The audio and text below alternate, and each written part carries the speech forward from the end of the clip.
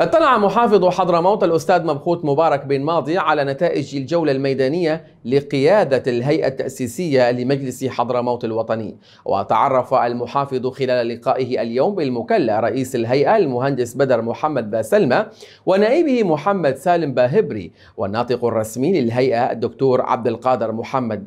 بايزيد وعضو الهيئة محسن سالم نصير على مخرجات اللقاءات التي عقدتها قيادة الهيئة مع مختلف شرائح المجتمع والمكونات في مديريات الوادي والساحل والصحراء والهضبة والرؤى والأفكار التي خرجت بها الهيئة وأبرز الاحتياجات والمطالب لمختلف مديريات المحافظة.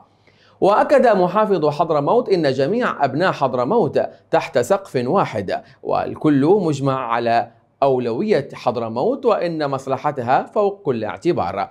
جددا الدعوة إلى لم الشمل ووحدة الكلمة واستقطاب جميع طوائف المجتمع وشرائحها ومكوناتها للعمل وفق أولوية حضرموت سيدة قرارها. داعيا إلى ضرورة التمثيل العادل لجميع شرائح ومكونات ومديريات المحافظة والانفتاح على الجميع والمطالبة باحتياجاتهم بما ينعكس واقعا ملموسا على المواطنين.